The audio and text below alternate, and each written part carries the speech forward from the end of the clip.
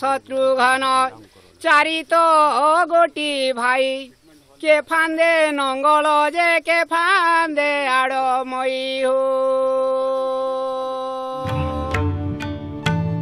ଇଏ ଥିଲା ଟାଇଁ ଟାଇଁ ଖରାରେ ଅକ୍ଷୟ ତୃତୀୟାର ଅକ୍ଷିମୁଠି ଅନୁକୂଳ ସମୟରେ ଜମି ଭିତରେ ଚାଷୀର ହଳିଆ ଗୀତ ପାରମ୍ପରିକ ଚାଷ କରୁଥିବା ପଶ୍ଚିମ ଓଡ଼ିଶାର ଚାଷୀ ପାଳନ କରିଥାଏ ପାଞ୍ଚଟି କୃଷିଭିତ୍ତିକ ପର୍ବ ଅକ୍ଷୟ ତୃତୀୟରେ ଅକ୍ଷିମୁଠି ଅନୁକୂଳ କଲା ପରେ ଧାରା ଶ୍ରାବଣ ମାସରେ ଆୟୋଜିତ ହୋଇଥାଏ କାଦୁଯାତ୍ରା। କାଦୁଯାତ୍ରା ପରେ ପରେ ଆରମ୍ଭ ହୁଏ ରୁଆ ବେଉଷଣ। ବାସ୍ ତା ପରେ ପରେ ସରିଆ ଧାନ ଅମଳର ସମୟ ହୋଇଥାଏ। ତେଣୁ ଅମଳ କରିବା ପୂର୍ବରୁ ଭାଦ୍ରବ ଋଷି ପଞ୍ଚମୀ ଦିନ ପ୍ରଥମ ଫସଲକୁ ଇଷ୍ଟଦେବୀଙ୍କ ପାଖରେ ଅର୍ପଣ କରି ପରିବାର ଓ ସମ୍ପର୍କୀୟଙ୍କ ସହିତ ମିଳିମିଶି ନୂଆଖାଇ ଉତ୍ସବ ପାଳନ କରିଥାଏ ଚାଷୀ।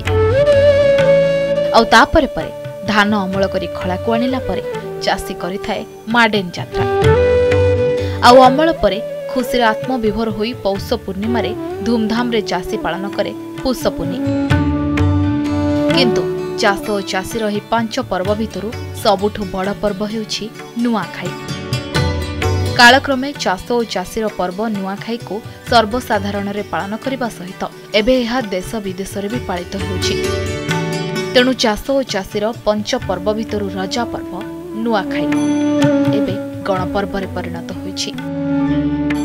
এটা প্রকৃতির উপাসনার পর্ব তেণু করি আমি নূয়াকে ভজা রগড়া ছଣା ছুণি নাই করু এজ ইটি যেনতা সি সে তাকে কুটি কুটা দেইকি তাকে কুড়া করে দেসু কম্পনকে বঞ্চাই রখবার লাগি ধ্বনি বিজ্ঞান এবং প্রকৃতি বিজ্ঞান এই দুইটার সম্পর্ক স্থাপন করবার লাগি এটা নূয়াখাই এবং নূতন ভাবরে ধ্বনি তরঙ্গরে তরঙ্গ তাই হবার লাগে এটাকে সুযোগ দিয়েছে।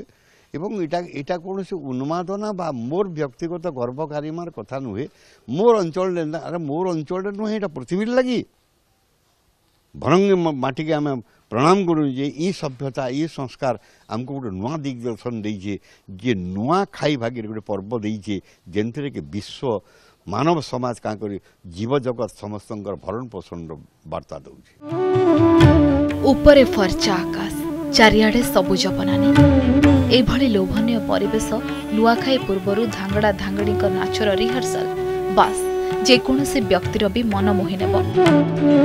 ଆଉ ଏବେ ଦେଖନ୍ତୁ ବିଲ ହିଡ଼ରେ ଲହଡ଼ା ମାରୁଛି କାଶଦଣ୍ଡି ଆଉ ଚାଷ କ୍ଷେତରେ ମୁଣ୍ଡ ଟେକି ଦୋହଲୁଛି ସରିଆ ଧାନ। ଯାହା ନୂଆଖାଇରେ ଲାଗି ହୁଏ ଗାଁ ଗାଁରେ ଗୌତିଆଙ୍କ ନିର୍ଦ୍ଦେଶରେ ଝାଙ୍କର ଜମିକୁ ଯାଇ ପୂଜାର୍ଚ୍ଚନା କଲା ପରେ ସରିଆ ଧାନ ସଂଗ୍ରହ କରି ଘରେ ଘରେ ବାଣ୍ଟିବା ପର୍ବ ବି ଆରମ୍ଭ ହେଲାଣି।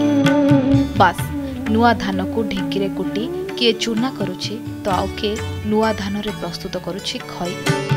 କାରଣ ନୂଆଖାଇ ଦିନ ନୂଆ ଧାନରେ ପ୍ରସ୍ତୁତ ନୂଆ ଇଷ୍ଟଦେବୀଙ୍କ ପାଖରେ ଭୋଗ ଲାଗି ହେବ ତେଣୁ ନୂଆ ଧାନକୁ କାଟି କୁଟି ଚୂନା ପ୍ରସ୍ତୁତ କରିବାରେ ବ୍ୟସ୍ତ ଘରର ମହିଳାମାନେ।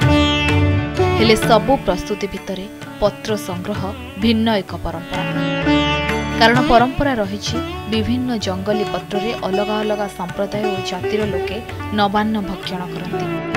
ତେଣୁ ଏବେ ଗାଁ ଗାଁରେ ଲୋକେ ଏକାଠି ହୋଇ ଜଙ୍ଗଲକୁ ଯାଇ ନିଜ ଜାତି ସମ୍ପ୍ରଦାୟ ପାଇଁ ନିର୍ଦ୍ଦିଷ୍ଟ ପତ୍ର ସଂଗ୍ରହ କରିବାରେ ବ୍ୟସ୍ତ। ମୁଖ୍ୟତଃ କୁରେଇ ଶାଳ ମହୁଲ ଓ ଭେଲୁଆ ପତ୍ରରେ ନବାନ୍ନ ଭକ୍ଷଣ କରିଥାନ୍ତି। আমার କୋଶଲବାହିତି ନୂଆଖାଇ ପରବ ଭିନେ ଭିନେ ଜାତିର ଲୋକମାନେ ଭିନେ ଭିନେ ପଥରଥି ନୂଆଖାଇ କରି ଆସୁଛନ୍ କିଏ କିଏ ସର୍ଗି ପଥର ରେଙ୍ଗାଲ ପଥର ଯେନ୍ଟାକି ବୋଲୁଛୁଁ କିଏ କିଏ ମହୁଲ ପଥରଥି ଗଲା ନୂଆ ଖାଉଛନ୍ ଏ ଆର୍ କିଏ କିଏ କୁରେ ପଥରଥି ନୂଆ ଖାଉଛନ୍ ପଥରରେ ନୂଆ ଖାଇବାର ଗୋଟେ ବୈଜ୍ଞାନିକ ଭିତ୍ତି ଅଛି ଏ ଆମର ଶାସ୍ତ୍ରବିତ ବୋଲୁଛି ନମନ୍ତ୍ର ମକ୍ଷରମ ନାସ୍ତି ନାସ୍ତି ମୂଳ ମନୌଷଧମ ଏନ୍ତା କୌଣସି ଅକ୍ଷର ନେଇନ ଯାର ମନ୍ତ୍ର ଶକ୍ତି ନେଇନ ଏନ୍ତା କୌଣସି ଚେର ମୂଲ ଉଦ୍ଭିଦ ନେଇନ ଯାର କି ଔଷଧୀୟ ଗୁଣ ନେଇନ ବୋଲିକିରି ପତ୍ରରେ ଖାଇଲେ ଯେନ୍ ଗୋଟେ ତୃପ୍ତିଟେ ଆଏସି ସେଥିର୍ଲାଗି ପତ୍ରକେ ହିଁ ବ୍ୟବହାର କରାଯାଏସି ଆମର ନୂଆଖାଇରେ ପ୍ରସାଦ ଗ୍ରହଣ କରବାର୍ ଲାଗି। ଆମର ଦେବାଦେବୀକେ ଦେ ଦେବତୀକେ ଅର୍ପଣ କରିକରି ଆଉ କିଏ କେନ୍ ପତ୍ରରେ ଯେନ୍ ଖାଉଛେ ଏଇଟା ପୂର୍ବପୁରୁଷରୁ ଚାଲି ଯାଉଛେ ଜଙ୍ଗଲ ଡଙ୍ଗର ଘେରା ପଶ୍ଚିମ ଓଡ଼ିଶା।